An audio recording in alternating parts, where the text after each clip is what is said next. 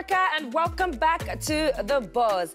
Now, for those of you who have downloaded the Showmax app, you guys totally rock. And for those who haven't, you're definitely living under a rock. Hurry down to www.showmax.com.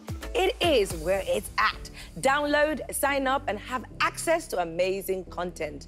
The season is a couple of weeks in, and I am struggling to catch my breath. You know, thinking about Saturday nights, I always feel like you can't judge anything properly in Saturday night. Yes. This, everything is UI, under the influence. So everything is kissing UI, DUI, be- misbehaving UI. Everybody, and then the Sunday they go, oh, I did that. Oh my God, that happened. Oh no, I'm so sad. but you should have known when you were doing what you were doing. Mm. But people need to, they need to stop. But groovy, like, uh, groovy, no, no, no. I feel like he needs to do something else. Chicks. Upon all the. I'm the man who let my woman do what she's about to do. Yeah, but what makes Is he it- living his if if truth? if you make- I'm sorry, if you try to oh, put it so on the spot, yeah? No. This young man is in love.